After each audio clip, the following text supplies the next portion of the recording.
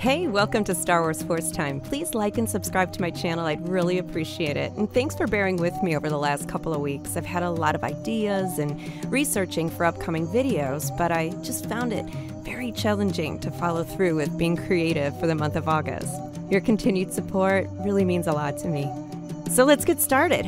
Quick disclaimer I know I should be referring to this lovely creature you see on the screen as the child, but he'll always be Baby Yoda in my heart, so forgive me for that.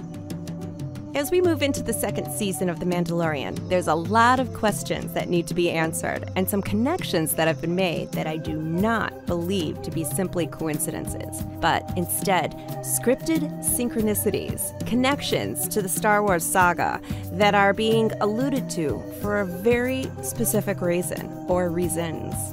One of those mysteries that need to be answered is linked to the year 41 BBY.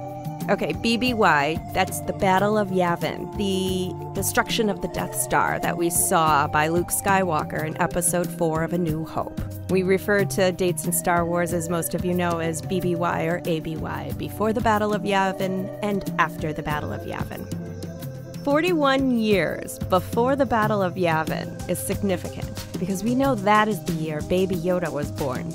That was firmly established that Baby Yoda was 50 years old in The Mandalorian. The Mandalorian takes place 9 ABY, nine years after the Battle of Yavin, which puts Baby Yoda's birth year as 41 BBY. 41 BBY also happens to be the same birth year as Anakin Skywalker. Okay, right. Both Baby Yoda and Anakin Skywalker, who are among the most gifted of Force users in the history of the galaxy far, far away, both just so happen to be born on the same year. No, not a coincidence. And who's the mystery character that I alluded to on the title card of this video, also connected to the birth year of 41 BBY?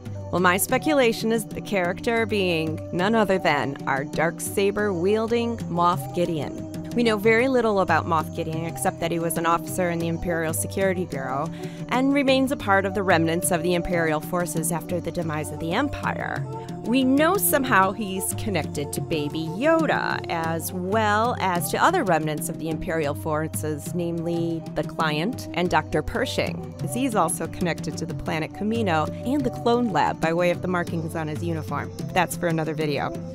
The actor who plays Moff Gideon is actually Giancarlo Esposito, who in real life is 62 years old and has a lot of white and gray shades in his natural hair coloring. But we didn't see that in episode 7 and 8 of The Mandalorian. His hair was a bit darker, so they de aged his appearance a bit. I don't think it's out of the realm of possibility that he's portraying Moff Gideon as a 50 year old man. And if you're questioning my suspicion that Moff Gideon could be connected to the birth year 41 BBY, just listen to what he says to Din Djarin when he's referring to the surrender of Baby Yoda. You have something I want. You may think you have some idea of what you are in possession of, but you do not.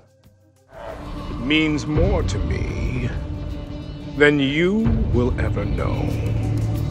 That's a loaded statement, right? Makes you wonder. Leading up to the release of season two of The Mandalorian, I'm going to be digging deep into these characters and more mysterious Star Wars saga connections in The Mandalorian. Until then, may the Force be with you, always.